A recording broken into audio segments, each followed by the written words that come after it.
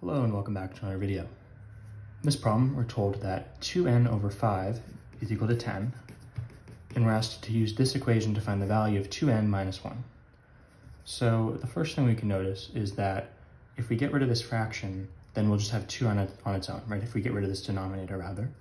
So we can multiply this by 5, and then these will cancel. Of course, you have to do it to both sides to keep things equal.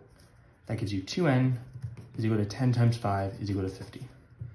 Now, from here, there's two ways to go about this. There's the traditional way, right? If we just have 2n is equal to 50, divide both sides by 2, these cancel, and you get n is equal to 50 over 2, which is 25. And then when we're looking for the value of 2n minus 1, we have our value of n now, so it's 2 times 25 minus 1. 2 times 25 is 50 minus 1, which is 49.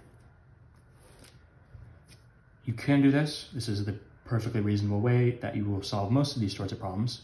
But sometimes you can notice a slight shortcut, right? Where if we have 2n is equal to 50, notice if we subtract 1 from both sides, here we'll have 2n minus 1, which is the thing we're trying to find the value of, and we get that it's equal to, so this is going to be our answer, 50 minus 1 is 49. So either way, you're going to get 49, and your answer is going to be B, but one way is a little bit quicker than the other. As always, thank you for liking and subscribing, and I'll see you in the next video.